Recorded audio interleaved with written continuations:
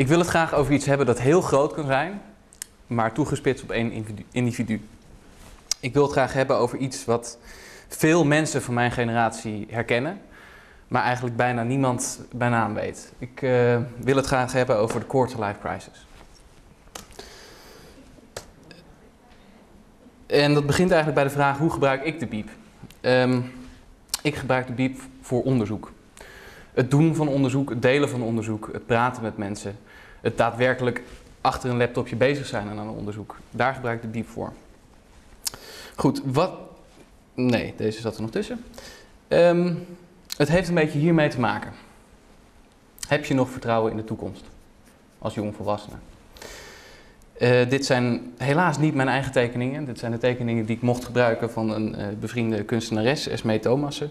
Op voorwaarde dat ik haar naam zou noemen, dus bij deze. Um, wat is een quarter-life crisis? Als ik een korte definitie zou moeten geven van quarter-life crisis, dan zou dat zijn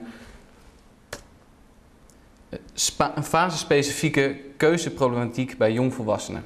Die ervoor zorgt dat keuzes als onprettig worden ervaren of beslissingen worden vermeden. Ik zou dus zeggen, quarter-life crisis is in essentie een keuzeprobleem. Um, ik wil het graag eerst even over de oorzaken hebben die, uh, die ervoor zorgen dat jongeren dit probleem kunnen krijgen en in veel gevallen ook krijgen. Uh, ik wil daarna terugkomen op wat, wat een quarter-life crisis nou precies inhoudt. Gelukkig wil ik ook daarna een aantal tips uh, met jullie delen. In ieder geval met de jongeren hier in de zaal. Wat kun je er tegen doen? Want je kan er dingen tegen doen. En uh, daarna wil ik nog even terugkomen op hoe ik de biep gebruik en hoe ik de biep zou willen gebruiken. Goed, de oorzaken. Ik denk dat een van de belangrijkste oorzaken ligt in iets waar niet alleen jongvolwassenen mee te maken hebben.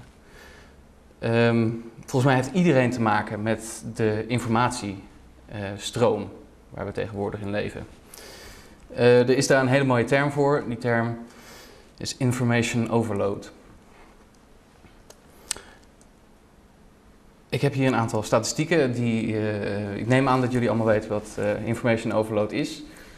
Maar een aantal statistieken die dat nog even ondersteunen. Er wordt geschat dat een week aan kranten ongeveer evenveel informatie oplevert als wat iemand in de 18e eeuw in een leven tegenkwam. Ze werden ook minder oud in die tijd, dat klopt. Um, en ik lees ook wel eens mijn krant niet helemaal in een dag. En als ik dan na een week er wel doorheen wil, dan ben ik daar toch even mee bezig. Maar een leven is wel erg veel. Er wordt geschat dat er in dit jaar 4 exabytes, wat een miljard terabyte is, aan unieke informatie wordt verspreid. Dat is meer dan in de afgelopen 5000 jaar. Het aantal apparaten met internetaansluiting. In 1984 waren dat er duizend. Dat is bijna niks natuurlijk. In 1992 is dat aantal gegroeid met computers die betaalbaar waren naar een miljoen. En inmiddels in 2008 met uh, telefoons die internet hebben, uh, ik geloof auto's tegenwoordig ook te, in, die internet hebben, maar goed, um, zijn we de miljard gepasseerd. Er zijn maandelijks 31 miljard zoekopdrachten in Google. In 2006 waren dat er 2,7 miljard. En het aantal sms'jes dat dagelijks verstuurd wordt, is groter dan de populatie van de aarde. Waar leidt dit nou toch allemaal toe? Um, dit leidt tot, in ieder geval, een van de dingen waar het toe leidt is um, ik weet niet of iemand van u dat gelezen heeft. Uh, het woord van 2010 volgens Trouw onder andere. Ah, daar zit iemand te denken. Niemand? Ontvrienden. Nee, niet helemaal die. Dat was 2009 alweer, geloof ik. Maar. Uh, het zeilreisje, dat was het wel. Um, dat is ook niet helemaal wat ik bedoel. Infobesitas. Oké, dan neem ik het bij deze terug.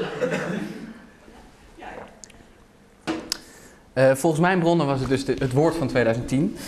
Um, wat is infobesitas? En dit zijn gegevens van het, uh, van het GGD. Infobesitas is een informatieverslaving, waar vooral ehm, jongen, jongeren en jongvolwassenen mee te maken hebben en ook kinderen. Wat, waarom is informatie nou zo verslavend voor deze mensen?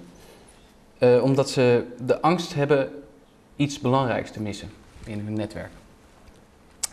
En ehm, dat, dat resulteert in vermoeidheid, slaaptekort en concentratieproblemen. Groot probleem. Ehm, information overload heeft ook heel veel consequenties voor ehm, onderwijs. En dan vooral het hoger onderwijs.